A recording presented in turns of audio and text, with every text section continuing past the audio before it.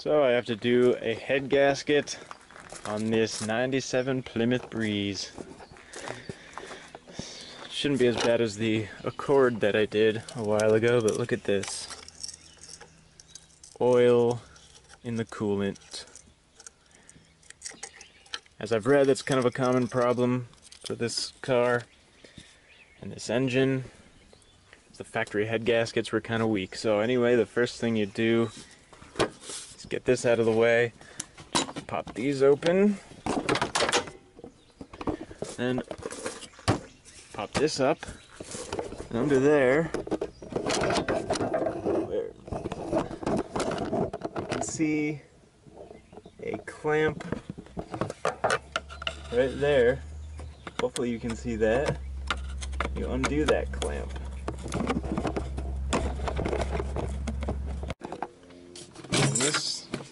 Up. Pop that hose out, and just get this out of your way. Next part is to remove the plastic intake manifold. Everything's pretty much connected to it, the fuel rail and the injectors. And they're all 10 millimeter bolts. There's two there, two there, there, there, and there. And you also need to remove this hose because it's attached to that as well. And you need to remove some of these vacuum lines and this fuel line. Just pop it out of here. Or just, yeah, that whole thing pops off. Just squeeze these two clips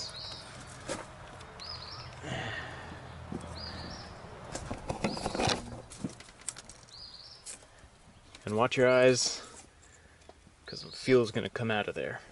Next thing is to remove the lower radiator hose to drain the coolant and make sure you drain it into a basin and then make sure you recycle the old coolant via the proper avenues.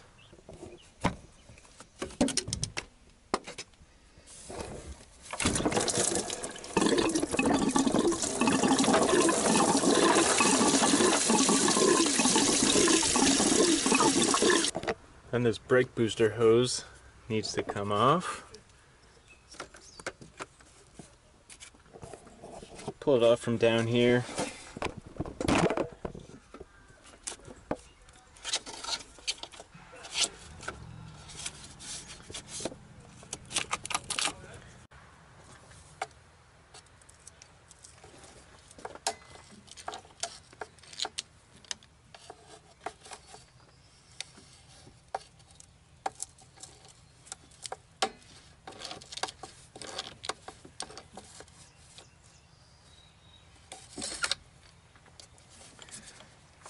God.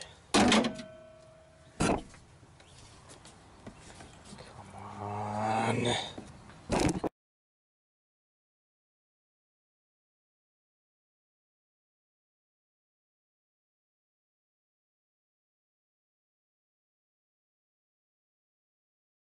And also these two bolts need to come off.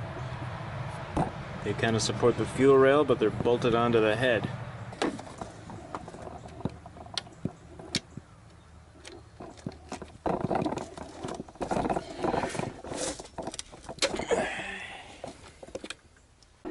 and these are 13 millimeter bolts. And to be able to move this plastic intake out of the way, you need to unbolt the throttle body from the intake with these two 13 millimeter bolts and remove that plug, that plug, this line, and this line, and also this cable or wire. And also these two 15 millimeter nuts. There's one right there, and there's another one down in there. I'm not sure if you can see it. Can't fit the camera down in there, but it's in this general area.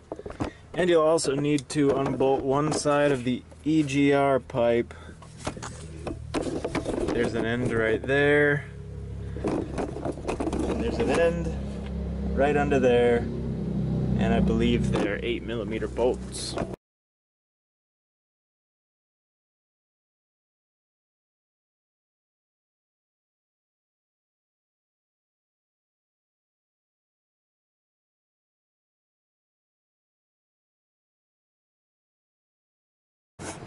And the lower nut can be taken care of with a 15 millimeter wrench brought in from down in this area.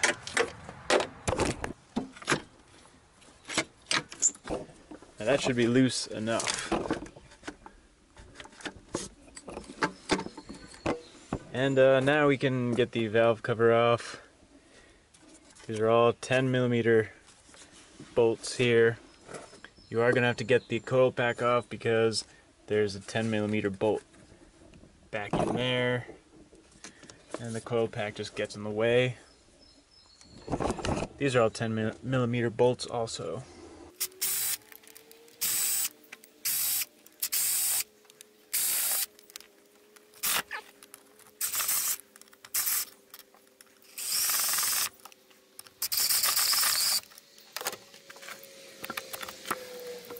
to remove this plug, you got to get this red clip pop out that way.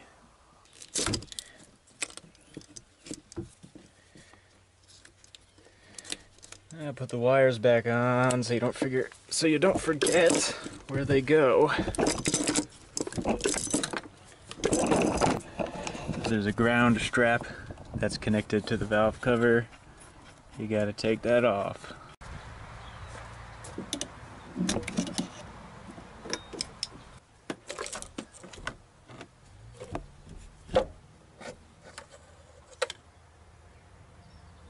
Now there are a few more things that need to be removed from the head. You got this bracket, that feels like a 13 millimeter bolt. These two brackets that hold this wire. Uh, those are 10 millimeter bolts, they're under the brackets. There's one and then a bracket comes off and then there's another nut under that it looks like. Then you need to remove this uh, coolant hose and the power steering pump reservoir, fluid reservoir, and the shroud for the timing belt. You'll also want to disconnect the crank or uh, the cam sensor plug. Has another one of those red clips on it. Pop that out, and that plug comes off. This is a 13 millimeter. You will want to disconnect the EGR tube from this side because these two 8 millimeter bolts right here are um, it's easiest to access them right here as opposed to under there all you need is an extension and a swivel I'd strongly recommend a magnetic bolt retriever, magnetic parts retriever, because you are going to drop things. And then remove the vacuum line off of the EGR controller. Um, it's on there pretty tight, you're gonna have to pull pretty hard or use a tool. Now that all this tedious stuff is done, don't unbolt the head yet because you need to get this timing belt cover off. And to do that, you need to lift the car, take off the wheel, get your safety stuff in order. Also make sure the parking brake is on and that you have a wheel chock on at least one of the wheels. And get a support under the engine. Uh, that's just a car lift and you need to remove this plastic cover. It's just held on by these plastic push clips. It's pretty easy to get off. And then you need to remove the serpentine belt. And to do that you loosen that 15 millimeter bolt there. And then use this 13 millimeter bolt to reduce the tension on the belt and that will slide off. Easiest way to reach that bolt is with an extension. You might have to take this cover off also. Those are 10 millimeter bolts. One up here and one down in there.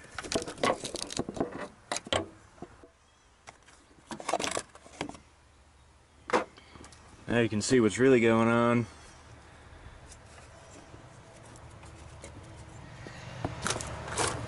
And you just come down here and get the belt off of the harmonic balancer.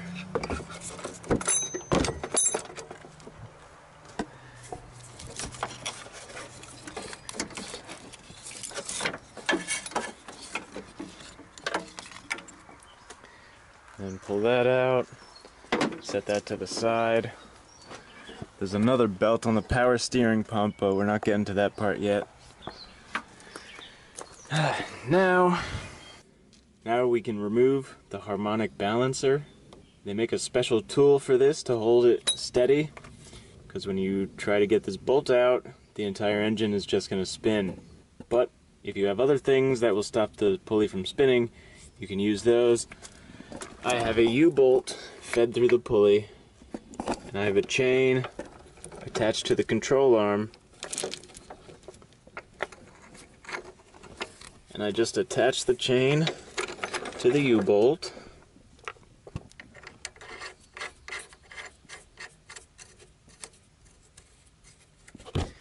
And use my 19 millimeter socket on my three quarter inch drive ratchet set, which I got from, I'll post a link in the description, to where you can buy a tool like this.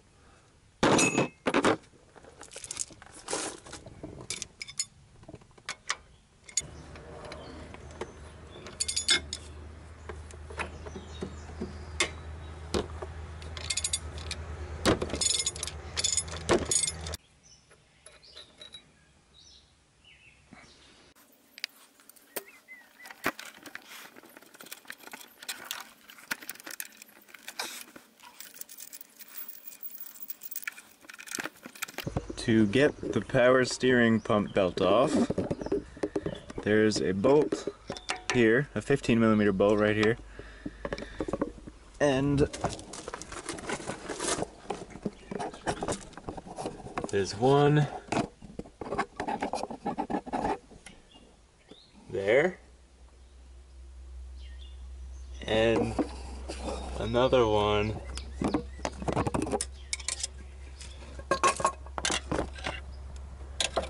up here that you need to loosen. And then the power steering pump will swivel and reduce the tension on this belt and then you can get that off. You can get the belt off. Now the reason for the engine support is that you need to remove this motor mount and to do that, there are two uh, 15 millimeter bolts. One there and one there. And once you get those out, the mount will be disconnected from the frame. And then you take those three bolts out right there, and the engine side of the mount will be uh, free.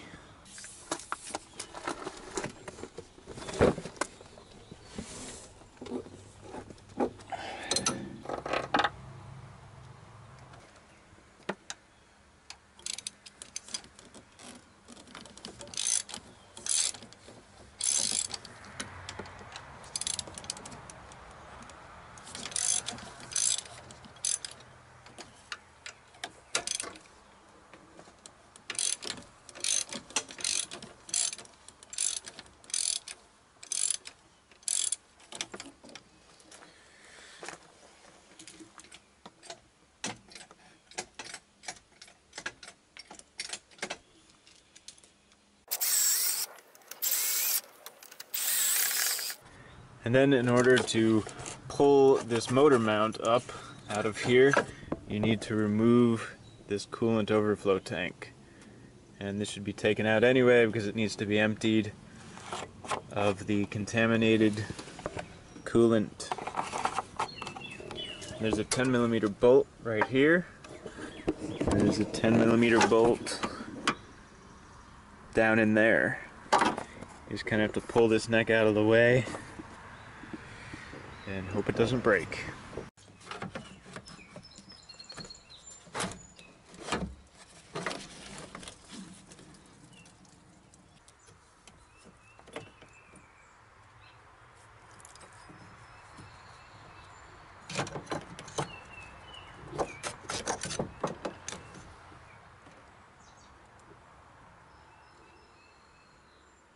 And then there are three bolts holding that plate to the engine.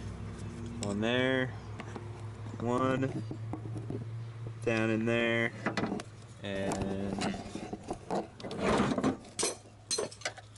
one there. Actually, there are four. That one is kind of held on to the um, alternator bracket. So you just take out those four. This is a 13 millimeter. These are all 15.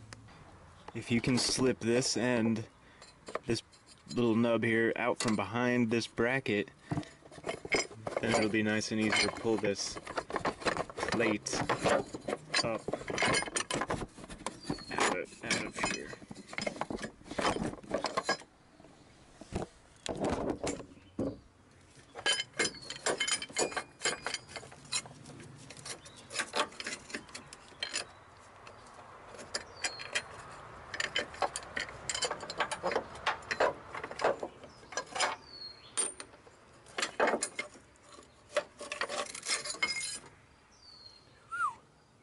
All that's belt.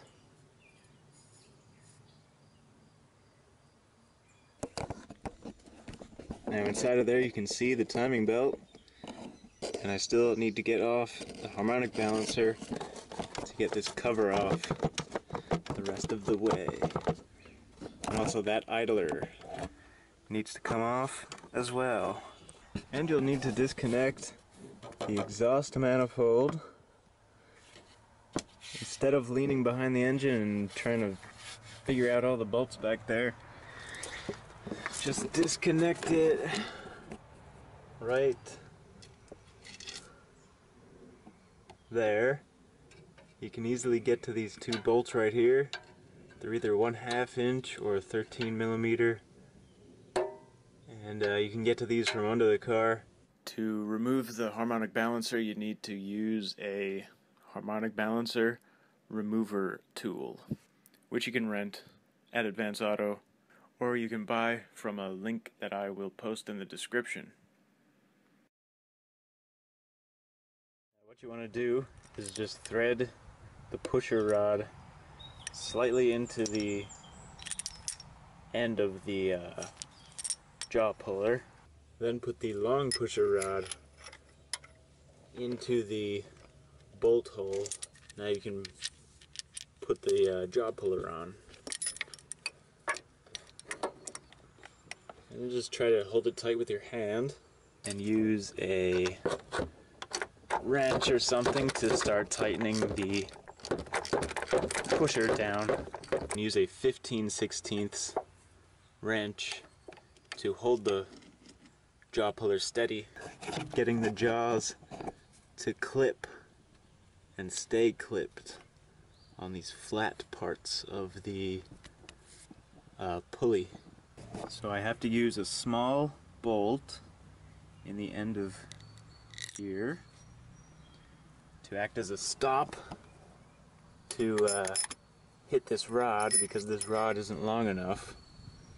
Otherwise this rod just goes in to the uh, threaded pusher rod. So that'll go in there, and that bolt will act as a stop so it can push this rod in farther. Well, not push the rod in farther, but allow this pulley to come off more.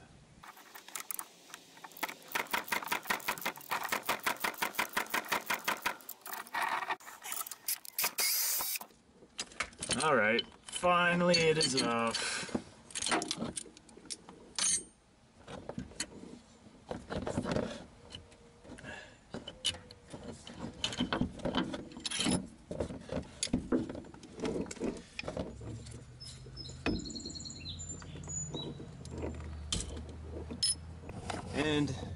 To remove this idler pulley.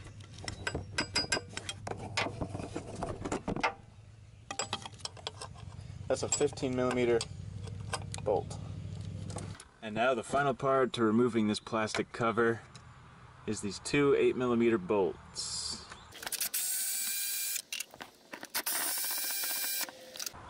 So this whole alternator bracket needs to come off. And to get that off, you need to remove the alternator first. So you gotta take this bolt all the way out.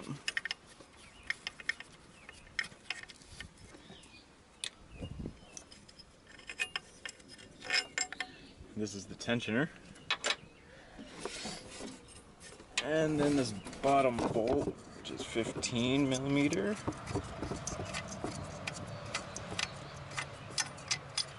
And you need to take this bracket off. That's held on by a 13 millimeter bolt. You can get to that bolt right there. There's another bolt right there. There's also a bolt right here that needs to come out. You have to remove that bracket by taking out the two other bolts that hold it on. Finally,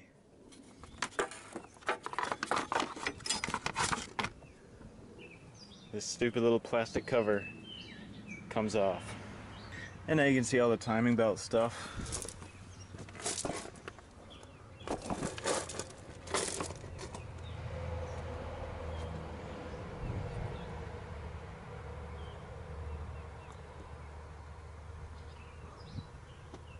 This is the tensioner. This is the crank. That's the water pump. Else? And up there is the camshaft sprocket. And before you take the timing belt off or the head off or anything else, make sure the engine is set at top dead center. There's a mark on the cam sprocket that needs to align with the mark on the plastic here on this pulley there's an arrow in the block on the block there and those two marks need to be lined up. Now to remove the timing belt you need to loosen these two 13 millimeter bolts. So when you loosen these this tensioner is going to slide down. And when you remove the bolts the tensioner will come out. And you can replace this tensioner if you want, but I'm not going to because this one is perfectly good and strong. So now the belt should be loose enough to start coming off. Now the timing belt's off.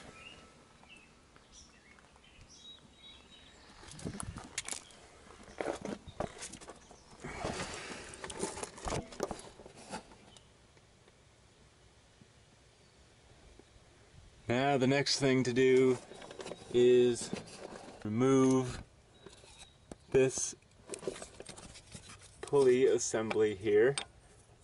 There's a 13 millimeter bolt there and one there. Then you can remove this back plastic cover once this is off. Actually the cam sprocket needs to come off before this back plastic piece comes off. There was another guy on YouTube that used a C-clamp and he just clamped the uh, sprocket and used the C-clamp as leverage, but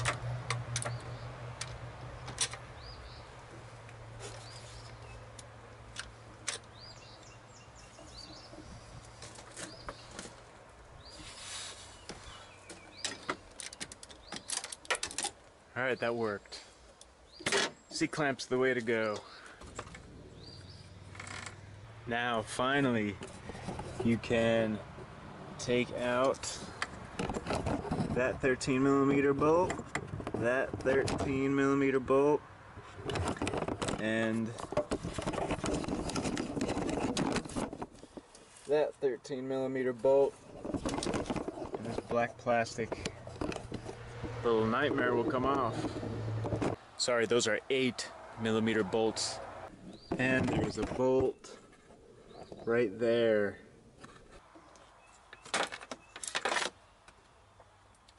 All that just for this. And look at this. This is all timing belt dust. Finally, the head can be unbolted. After the head is unbolted, then you'll be able to unbolt the power steering pump reservoir from the head once you can bring it out here a little bit more. But there are 10 15 millimeter bolts that hold the head on.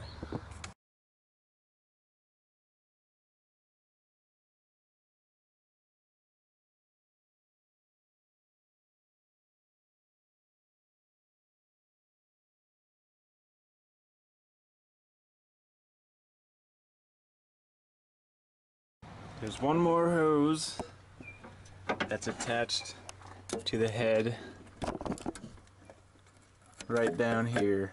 There's a plug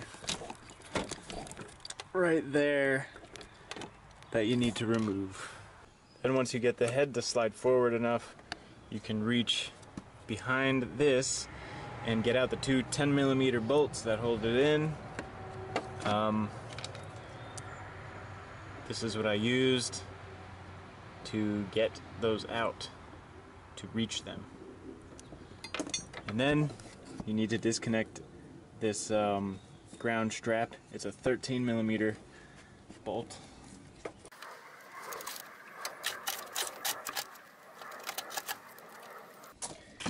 Okay, now there really is one more thing holding this on. It's the O2 sensor wire. There's the plug just unplug it. Oh man, that is an ugly head gasket.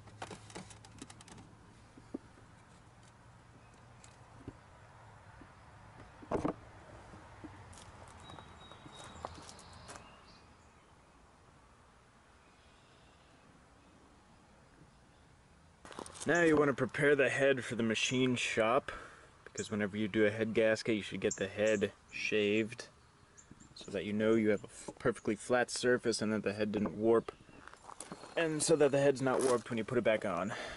So remove this, oh, what the fuck is this thing?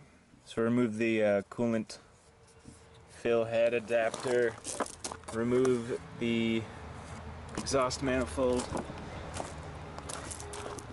You can probably leave the EGR on there, it's it's uh, it's metal. I don't think it's gonna break. You can probably take this off. The final thing you need to do to prepare the head for the machine shop is remove the valve train and the cam. So to do that, all these 10 millimeter bolts need to come out. they're in there pretty tight. I believe they're stretch bolts and should be replaced. Personally, I'm going to reuse these. It's up to you to make a decision about what you want to do. These are up on the top of the engine, they're easy to replace. The head bolts are stretch bolts, and I will replace those with new ones. After you have this top part off, the cam sensor needs to come out, and then the cam will slide out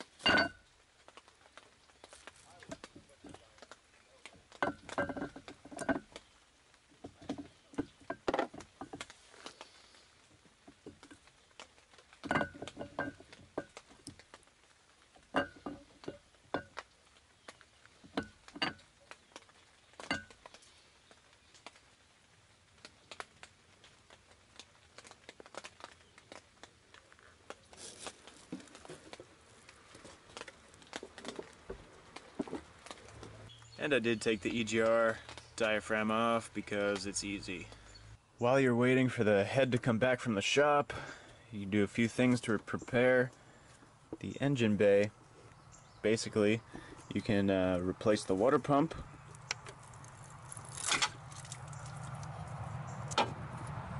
Just rip the old one off of there. Get your new one ready.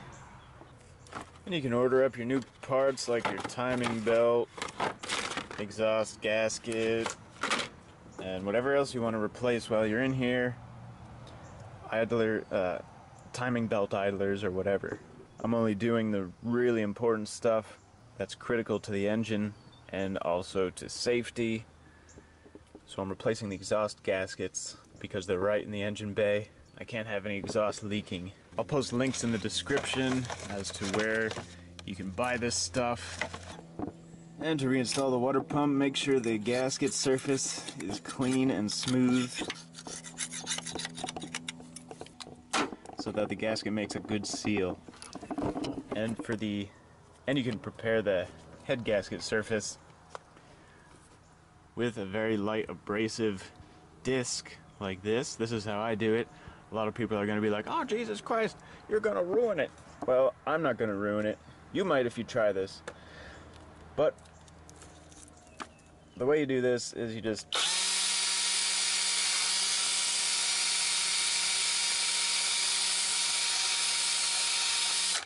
very lightly go over the uh, block surface where the gasket touches and make sure it's uh, smooth and clean. You're not looking to take off metal, you're just looking to take off the gasket material and just make a smooth surface for the new gasket to rest on. There are other methods to clean the gasket off. If you want to find out what those are, if you're not comfortable with doing this, you're just going to have to look them up. This is just the way I do it, and that's the only way I'm going to do it. So to put the new water pump back on, make sure you have the gasket set in there. You can use some blue RTV to help it stay in there while you put it onto the engine. Finger tighten all these 10 millimeter bolts by hand and then tighten them in a crisscross pattern. So this bolt, that one, that one, that one, that one, that one, something like that. And uh, they're supposed to get torqued to 8.75 foot-pounds, but my torque wrench doesn't go less than 10. So these are all getting done to 10, and it's going to be fine. Thanks for watching. Obviously there's going to be a part 2, so stay tuned and subscribe. And also hit the like button if you liked the video. Thanks.